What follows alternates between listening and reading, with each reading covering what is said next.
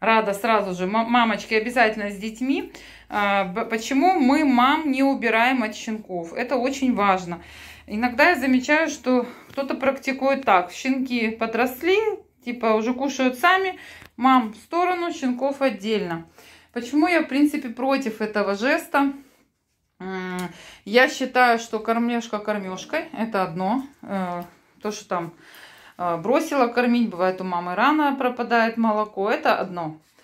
Мама должна, нужна не только для кормления, мама нужна для воспитания своих щенков. Вот, например, э, щенки играют между собой, тут подлетает мама, начинает им показывать, как играть. Это самое настоящее социализация в стае, то, о которой мы говорим. Да, могут это э, как бы заменять вот и старшие э, подростки, да, вот, ну, Энечки-то наши уже скоро год, а э, Ванессе вот 7 месяцев, да, Божене 5 почти, поэтому вот они могут тоже воспитывать щенков без проблем. Но как это делает мама, так не сделает в принципе никто.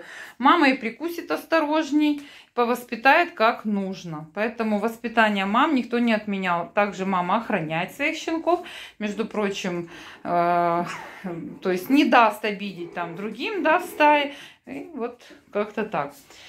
Хотя тут такие визги, писки, и вот они все, у них же уже зубы какие колючие. Поэтому я за то, чтобы мамы наблюдали, воспитывали. Опять же, мама должна, маме нужно, ну, должно быть место, куда спрятаться от щенков, да, чтобы они ее не доставали. Ну, у нас это диваны, у нас в доме кровать, они запрыгивают и как бы спокойно сверху наблюдают за своим потомством.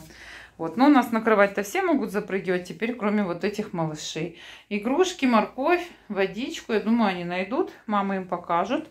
Вот. Собаки очень умные животные.